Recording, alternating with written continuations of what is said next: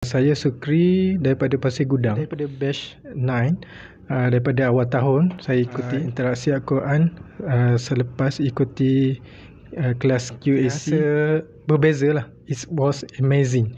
Sangat-sangat amazing. Pertamanya bila saya baca Quran uh, compare dengan sebelum ni saya lagi lebih uh, kita boleh tengok terjemahan memang boleh tengok daripada terjemahan.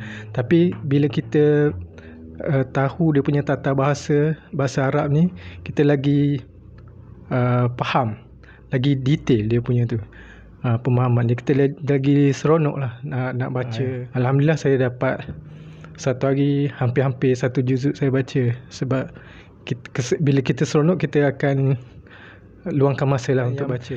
Poin yang kedua ni saya nak share memang lagi amazing. Sebelum awal Ramadan tu saya dah plan saya nak uh, hafal surah sajadah.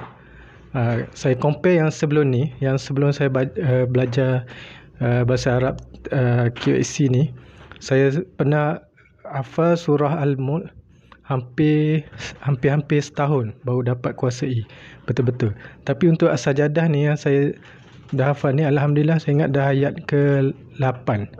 8 ke 10. Kalau lebih kurang baris tu dah lebih 15 ataupun dalam 10 baris itu. Maksudnya satu hari satu baris uh, saya dapat hafal. Lagi mudah lepas kita belajar ni uh, tata bahasa Arab ni kita lagi senang uh, nak hafal. Saya rasa macam gitulah.